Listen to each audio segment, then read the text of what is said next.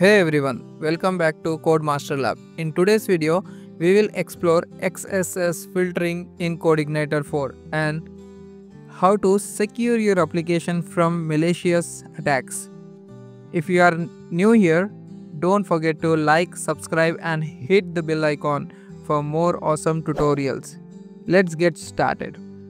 Cross-site scripting XSS is security vulnerability where attackers inject malicious script into web application if your site is vulnerable. Hackers can steal session cookies, deface your page or execute harmful script. Example input type text value if script is written like alert hacked so something like this then if you don't keep filters in these inputs, the JavaScript code will execute in your browser.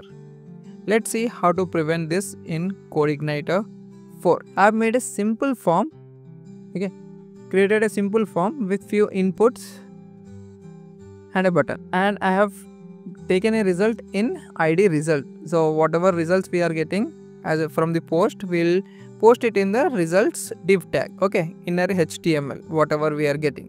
So we'll just take the input and display the output as result whatever input we are getting. So let's see what's how it is harmful to us. So let's understand the problem then we will work on solution first. Okay then okay?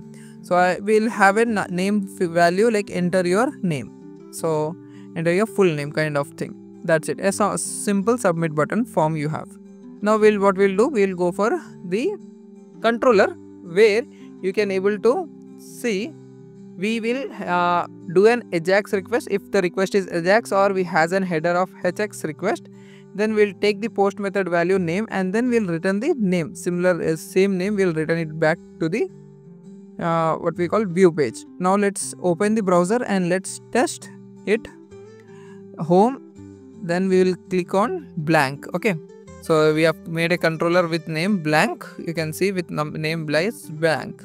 So we have kept it as a submit and we have taken copied the same sub button. And that's it. We have just pasted over the same button over here. Okay your database hacked. I'm just writing it out to display it out. I've clicked on submit. Same value is when and if you store it in the database then it's gone. Wherever you're displaying the name there you will be showing it is hack kind of thing. So your website will goes ugly right?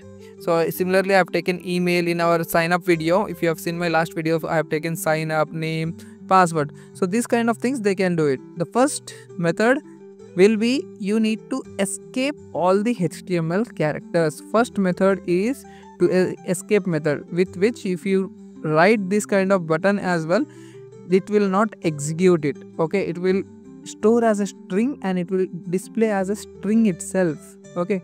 This is the first method which you can use to protect yourself from your cross-site attacks.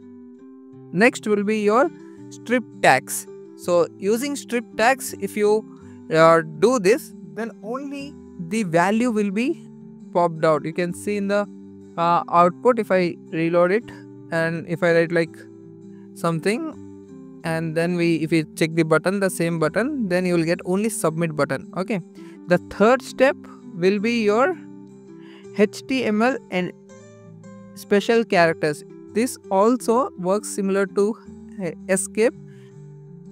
It will store the value as a string. These are the three methods which you, you can use to protect your website from your cross-site attacks okay that's it for today now your CodeIgniter 4 application is protected from XSS attack. If you found this video helpful, hit that like button, share it with your friends and comment below if you have any questions. Also, don't forget to subscribe to Codemaster Lab for more CodeIgniter 4 tutorials. See you in the next video.